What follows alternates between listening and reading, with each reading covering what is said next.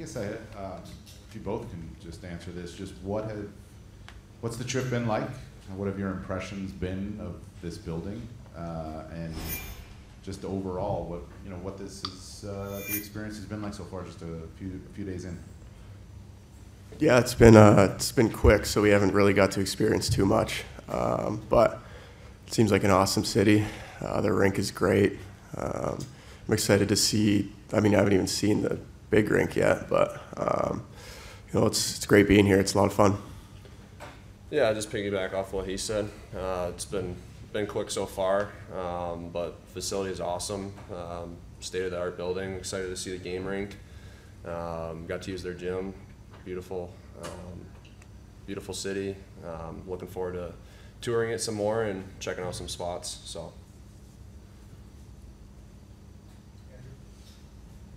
Tage, when you think about uh, the, the connection that you had last year on a line with JJ, Alex, how, how did that connection work, and do you anticipate that carrying into a new season?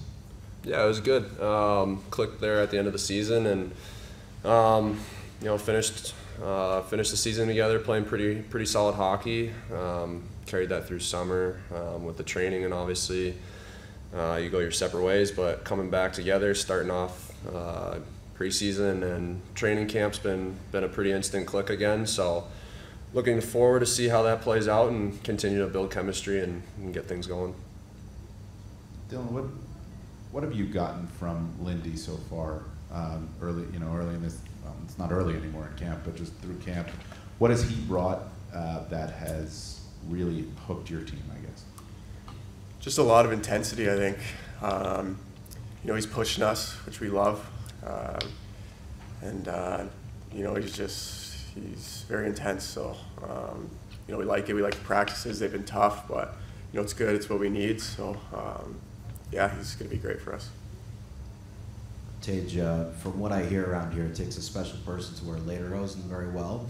Uh, JJ Peterka just said it'll be either you or uh, Jordan that are going to look in the best in the lederhosen. Did you get any scouting report on how that's going to work, or are you excited to take Um, part?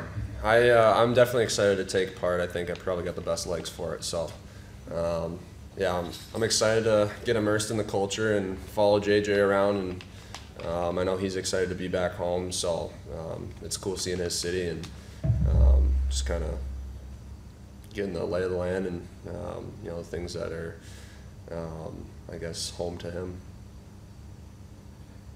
According to that, will you guys go to the Oktoberfest? Yeah, yeah, definitely. Um, travel to Germany during Oktoberfest, I think it's a, a staple, and um, I think the guys are looking forward to that. And what are your ex uh, expectations for the game tomorrow, and what are you looking forward to the most? Um, I think going in, um, I don't know a whole lot about them um, as a team, but I know they're going to be hungry um, and they're going to be coming out working hard. Obviously, it's a big game and um, you know a lot of excitement. I think around the city, a lot of buzz. So I think for us, just coming out, keeping it simple early, and um, you know sticking to details and, and not trying to cheat the game. I think it's going to be a, a good match. Tage, uh, s- stylistically, what's excited you the most about the way you guys played the first two preseason games?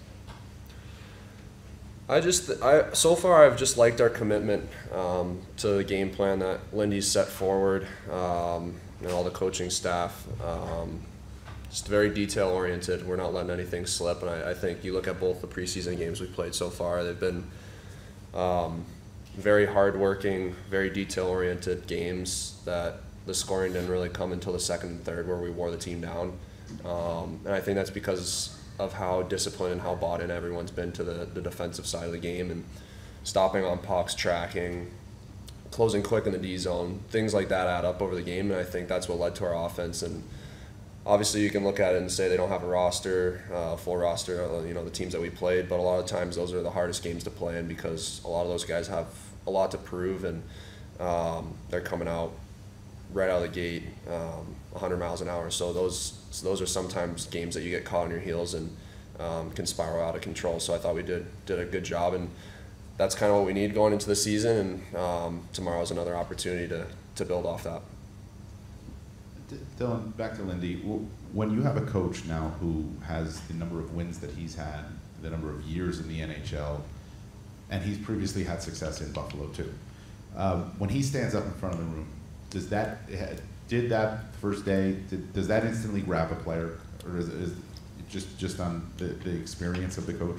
Yeah, I mean he's obviously got a ton of experience, so um, it's it's great to learn from a guy like that who's who's been been around the league for a long time. He's played in the league and, and he knows what it takes to win. So um, you know I think he knows exactly what our group needs and he knows how to to get the most out of our group. So um, you know I'm excited to to play some real games uh, under him.